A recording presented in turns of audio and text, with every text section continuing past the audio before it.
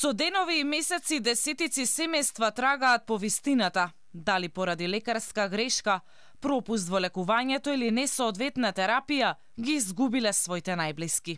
Се водат повеќе од 20 истраги, но ниту една не е завршена.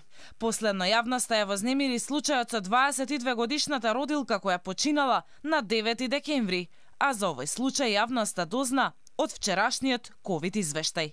Родилката две недели се борела со опасниот вирус, а последните 7 дена била на респиратор.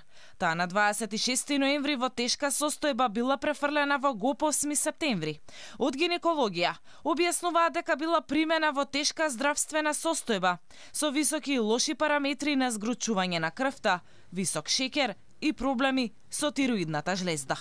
22 годишната трудница е дојдена на клиника на утрото на 23 по трет пат, инаку на 22 ноќта доаѓала два пати и одбивала да биде хоспитализирана, иако било објаснето и на неа и на семејството дека го става во ризик и бебето, се става во ризик и самата себе. Повторно е вратена на клиника некаде околу 23 часот, меѓутоа повторно не сакала да остане затоа што требало да биде хоспитализирана во делот каде што се хоспитализираат ковид позитивните пациенти, а таа имаше негативен тест.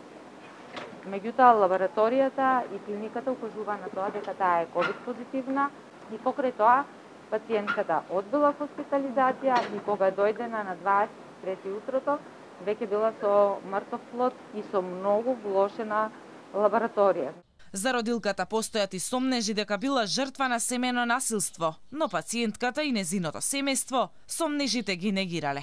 Таа дошла со крварење од слузниците, меѓутоа и самата состојба, тоа покачени дедимери, нарушена коагулација, абрупција на постелка, може да биде и од тоа. Пациентката секако одбиваше во повеќе наврати ја прашувавме дали имала било какво обид за темено насилство, пациентката одбиваше.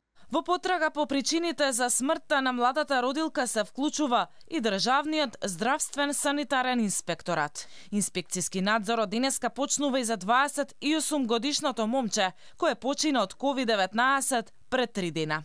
И по повеќе од 20 дена трае енигмата како починала 41 годишната пациентка во Штипската болница и дали има медицински пропуст во незиното лекување.